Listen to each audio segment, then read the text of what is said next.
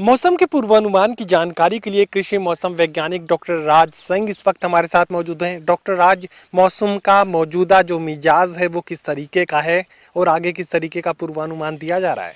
जहाँ तक मौसम का पूर्वानुमान की बात है अभी आने वाले पाँच, छः, सात तारीख को हरियाणा के अधिकतर इलाकों में थोड़ी बहुत धूलभरी आंधी या थोड़ी बहुत बारिश, बूंदाबांदी हो सकती है, लेकिन अगर आने वाले उसके बाद की बात करें तो मौसम आमतौर खुश रहेगा और तापमान बढ़ने की संभावना है। जहाँ तक गर्मी की बात है, गर्मी पिछले दो तीन दिन से जो अधिकतम तापमान है वो इकतालीस डिग्री के आसपास है, लेकिन वो तो कम है, लेकिन जो रात का न्यूनतम तापमान है वो तीस पॉइंट तीन डिग्री चला गया है। वो औसतन से पाँच डिग्री ज़्यादा चल रहा है। उसकी वजह से जो हमारे को ज़्यादा गर्मी महसूस हो रही है और थोड़ी ह्यूमिडिटी भी जो है वो भी थोड़ी ही बढ़ रही है, जिससे कि हमें गर्मी से थोड़ी राहत नहीं मिल रही।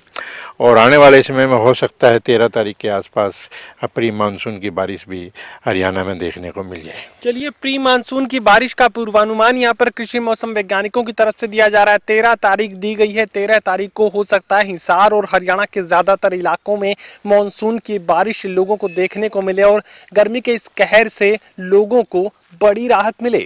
कैमरामैन विशाल के साथ महेश कुमार टोटल न्यूज़ हिसार।